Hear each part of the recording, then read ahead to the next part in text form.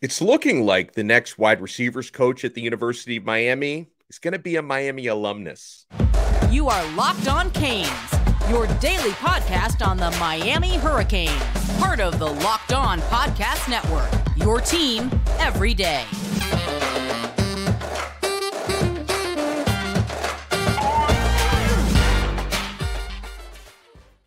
I am Alex Donno, your host. I'm a University of Miami alumnus. Maybe I'm the next wide receivers coach. no, nobody wants that, believe me. I'm also a longtime South Florida sports radio vet and a contributor at allhurricanes.com. And thank you so much for making Locked On Canes your first listen today. We are available free wherever you get your podcasts and available free on YouTube. This episode is brought to you by FanDuel Sportsbook, the official sportsbook of Locked On. Make every moment more. Visit fanduel.com slash locked on to get started. So, we talked on yesterday's episode about the fact that Leonard Hankerson has interviewed for the wide receivers coaching job at the University of Miami. And I believe that first interview happened several days ago, and maybe that wasn't classified as a formal interview, but Hankerson is interviewing again, and it's reportedly happening today, Friday. Per 24 7 Sports, Leonard Hankerson is interviewing today. Uh, it's being referred to in that report as a quote unquote formal interview. So maybe the last time around it was more of a casual conversation to gauge interest. Now he's formally interviewing for the wide receiver coaching job. Um, to me, getting a follow up interview and getting one that's now being classified as a formal interview, I think that's a very good sign that Leonard Hankerson could very well be the favorite here to be the next wide receiver coach at the University of Miami. Now, uh, this is not yet done. It's not yet a slam dunk, I don't believe, because obviously, even if Leonard Hankerson, if he is the guy that Mario Cristobal likes the most, you still have to work out a contract. You still have to convince him to leave his job in the NFL because that's a consideration here. Because it's still, it's hard for me on the one hand to imagine someone who is a so far successful NFL wide receivers coach for a very good team in San Francisco. I mean, the 49ers, a very strong team, a strong wide receiver core. It's hard for me to, to imagine someone in Hankerson's position willingly leaving that job for a, a lateral move in the college ranks. But if he does want it, I fully support Leonard Hankerson to be the next wide receivers coach at Miami. I think it would be a home run hire. I mean, he likely would like to be closer to home and family because he's got a lot of family in this area. His roots are here. And yeah, perhaps Hankerson will get extra motivation from the idea of helping his alma mater. And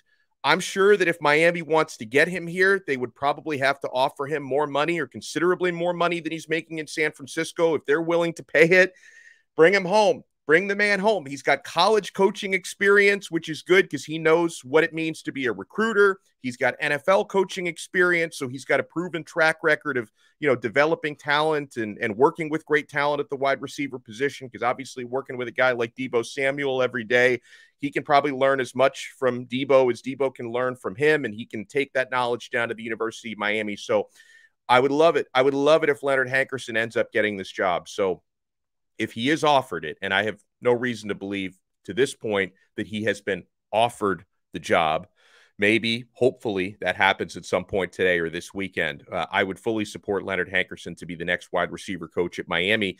Um, but as we talked about yesterday, there are other good options out there. Now, I think the other good option we talked about yesterday will not end up, likely will not end up getting this job, but um, I mentioned at the top that this could end up going to an alumnus, okay? And another Miami alumnus, former Miami wide receiver, uh, interviewed for the job uh, reportedly yesterday.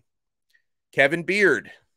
He won a national title at the U in 2001. He's been a receivers coach at Miami before.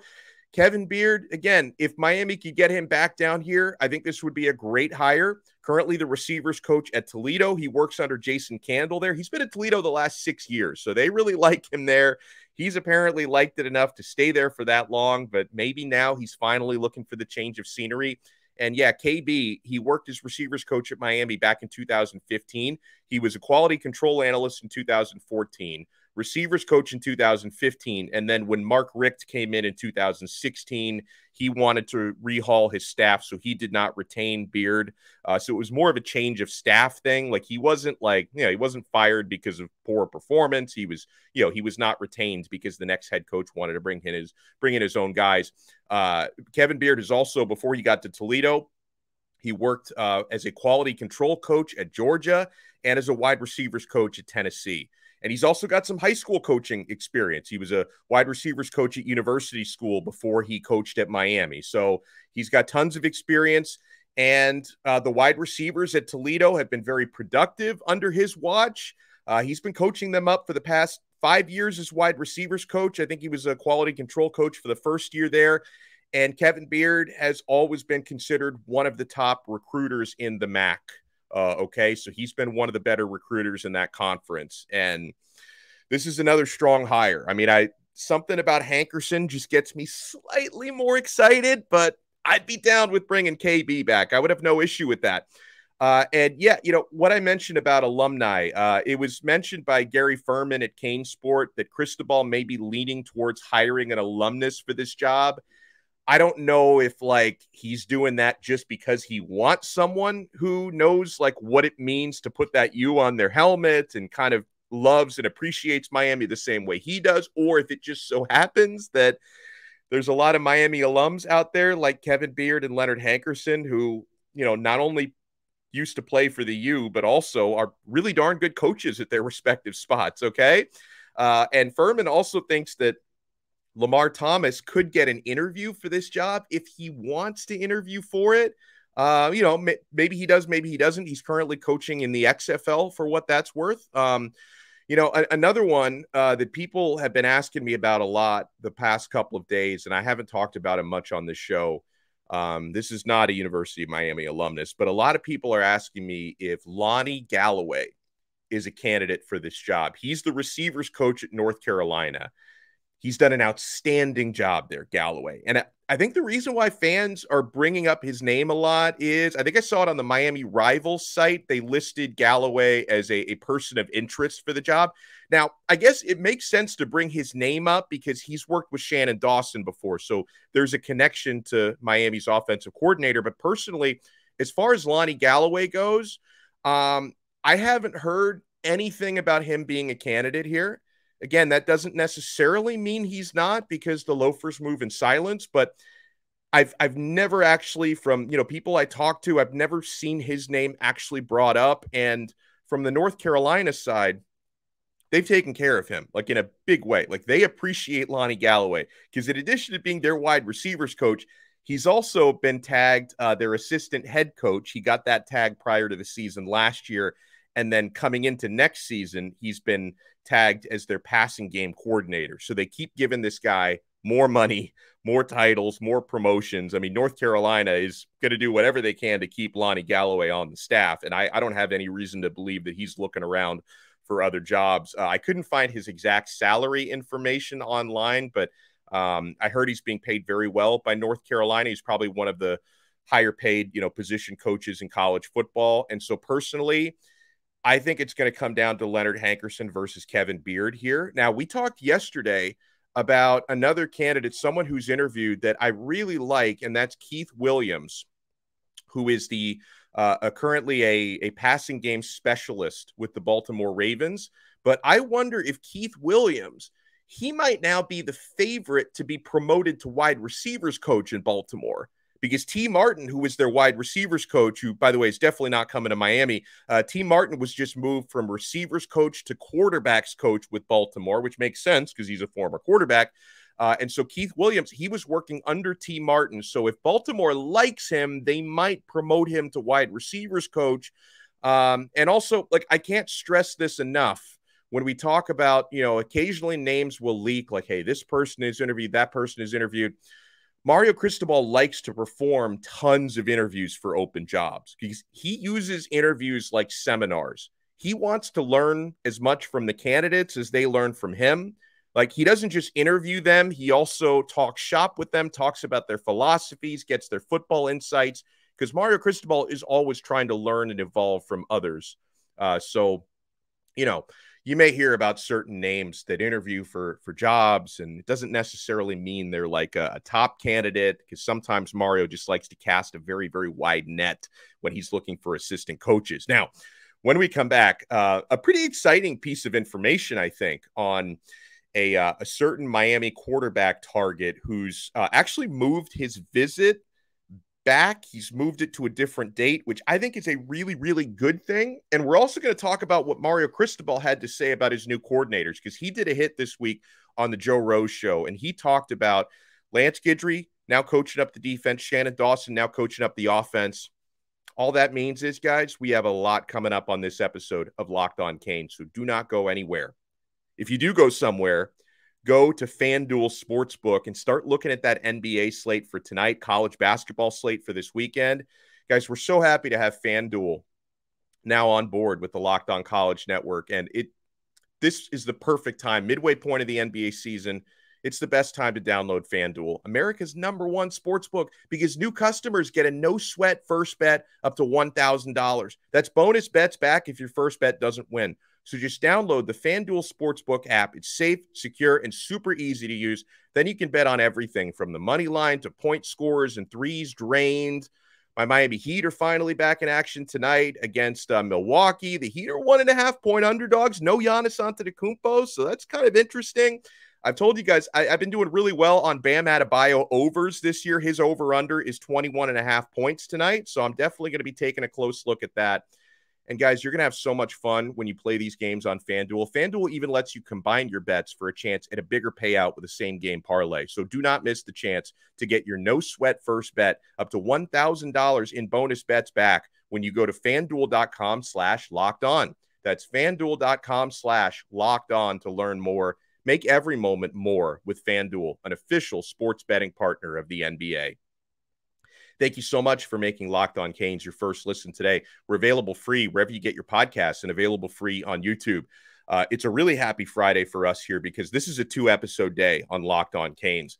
Uh, later on today, late afternoon, we're going to have a pro football focus number crunching conversation with Max Chadwick from PFF. We're going to talk about uh, the safeties, James Williams and Kam Kinchens, because PFF has them both ranked in their top five returning safeties in the country. I want to ask him about Tyler Van Dyke. I want to ask him about Leonard Taylor. So we're going to have a great conversation later today with Max Chadwick from PFF. And we're going to talk some recruiting with John Garcia Jr., our locked on recruiting expert. So, I mean, can Friday get any better? Two episodes of Locked On Canes on a Friday. This is the best, man. Uh, so, okay, this is pretty cool. You guys know that one of the quarterbacks we really love in the class of 2023. I love a few of them, okay? Because I also I really love AJ Hairston, who's a show favorite who's been offered. Um, I also like um, we were talking about Marcos Davila yesterday. I like Marcos Davila, but boy, do I love Air Noland. Air Noland heading into his senior season at uh, in Georgia is really, uh, I think, a perfect fit in this offense when you talk about his dual threat capabilities, his strong arm, his accuracy, his his quick release. So Noland was going to be visiting Miami on March 4th, which is a very busy junior day. And according to Steve Wiltfong of 24 7, he's changing the date of his Miami visit. Uh, Wiltfong writes his Coral Gables trip has been moved from the first weekend in March to the 23rd and the 24th of March. Then he's going to be visiting Ohio State the following weekend, March 31st through April 1st. And here's why I think Noland pushing back his visit is a really, really good thing. So he was going to come on March 4th when there's going to be something like 25, 30, 40 visitors coming in for that very busy junior day. I think to get a priority target like Air Noland, to have him coming at the end of the month where they can spend exclusive time with him, where Mario Cristobal and Shannon Dawson can spend more one on one time with him, get him into that film room, have some longer conversations. That's way better. Okay. Because obviously, like March 4th is going to be a big day, but it's going to be so chaotic because you're going to have so many prospects here that, you know, any of the individual prospects coming in on March 4th are not going to have as much FaceTime one on one with coaches. You get a priority quarterback target like Air Noland to come in at a later date where he can be more of the priority on that visit. I think that's fantastic. And this is someone who he's very sought after, but he's said really good things about Cristobal in Miami. Uh, Noland said, quote, Mario Cristobal, he's been very straightforward with me. He loves my personality, loves everything about me. He thinks I'm a program changer and he communicates with me on a day to day basis. And also, the new hire they got, Coach Dawson, he recruited me real heavy at Houston. That was a great hire for them. Of course, the institution they have and the great legacy Coach Cristobal has. So uh, I think it's really cool that Noland is going to be coming in at a time when they could really, really prioritize him. Okay.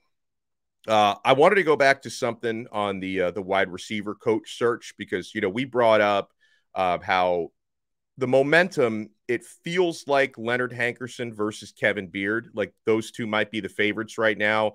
We brought up why I don't really get the sense that Lonnie Galloway from North Carolina is a candidate and why you know Keith Williams even though he interviewed uh, may not end up being, you know, a strong candidate for this job. Another name that we've talked about so much on this show, and I'm wondering if there's anything going on uh, new with him, but uh, James Coley.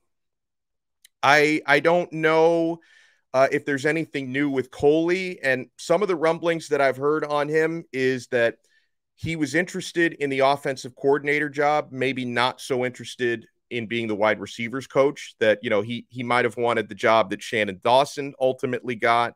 Um, now, my thought on Coley, who I really love, is I would I would love to get him on the staff in any capacity. Right? He could he could coach tight ends, he can coach wide receivers, he can coach quarterbacks. You know, you can have this guy, you can have him coaching the cheerleaders. I don't care. I just want I want James Coley on the staff because he's such a great recruiter, and I just think he's such a positive influence to have around these young men because he's just he's just an awesome human being. Like he's a great coach and an equally great human being. Uh, but I don't know. I, I don't really hear anything new going on with him in terms of the wide receiver coach opening. So, you know, I, I I'm still I still feel like today, Friday, that Leonard Hankerson and Kevin Beard might be the favorites. I'm not as convinced today as I was, you know, maybe a week, two weeks ago that Coley is going to end up on this staff, but I would love to have him. Like if, if you get, get him a spot as an assistant coach on the basketball team and let him recruit football player, like whatever you have to do, I would love to get the guy in the building in some way, shape, or form. But uh, I don't know if it's going to happen at this point. Uh, so we, have got some cool comments, some rave reviews, and you would expect them to be rave reviews, right? When Mario Cristobal is talking about people that he has hired, but some of Cristobal's thoughts on his new defensive coordinator and his new offensive coordinator when we come back right here on Locked On Canes. And thank you so much for making Locked On Canes your first listen today. We're available free wherever you get your podcasts, and we are available free on YouTube.